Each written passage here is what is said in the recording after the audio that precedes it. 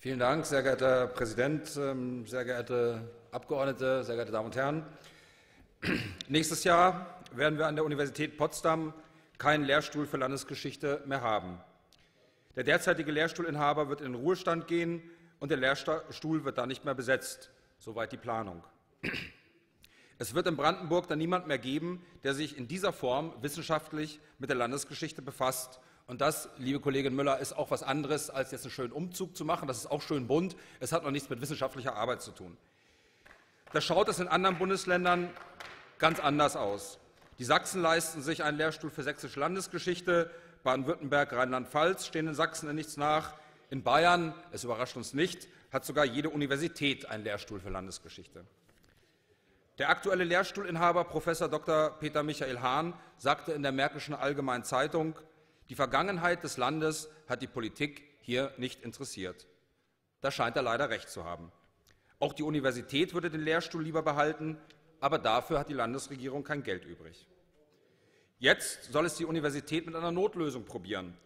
Die Aufgaben des bisherigen Lehrstuhls werden verteilt auf einen Lehrstuhl, eine Professur und eine außerplanmäßige Professur. Das wird so nicht funktionieren. Man kann nicht mal so nebenbei in der Landesgeschichte forschen. Und mit einer außerplanmäßigen Professur wird man zudem keine größeren Forschungsvorhaben verwirklichen können. Da braucht die Landesregierung nicht verkünden, dass die Landesgeschichte angemessen an den Universitäten vertreten ist. Sich hinter der Hochschulautonomie zu verstecken und mit dem Finger auf die Universität Potsdam zu zeigen, bringt auch nichts. Die Universität bekommt ihr Geld schließlich vom Land. Wem sagen heute die Namen Soeben, Hevella oder die Askania etwas? Wer kann die Begriffe Altmark, Nordmark, Kurmark und Neumark noch richtig einordnen? Wer kennt die bewegte Geschichte der Lausitz? Wahrscheinlich wird man über den Köpfen der meisten Menschen ein Fragezeichen sehen. Und wieso ist das so?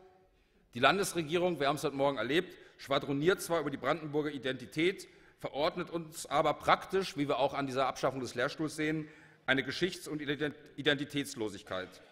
Das fängt in den Schulen an und setzt sich nun an den Universitäten fort. Geschichte fängt bei der Landesregierung anscheinend erst um 1900 an. Aber nicht nur im Bildungsbereich ist das Leitbild der Landesregierung Geschichtslosigkeit. Ein kleiner Exkurs nach Schmölln in der Uckermark. Dort hat die Landesregierung eine frühzeitliche Kultstätte teilweise in einer Kiesgrube entsorgen lassen. Den anderen Teil hat man erst mal gar nicht untersucht. Und das alles, weil man ein Regenrückhaltebecken bauen wollte. Wissenschaftler nannten die Kultstätte in Schmölln einzigartig.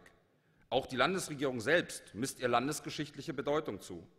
Sie haben die Stätte trotzdem abräumen lassen, weil ihnen die Landesgeschichte offensichtlich egal ist.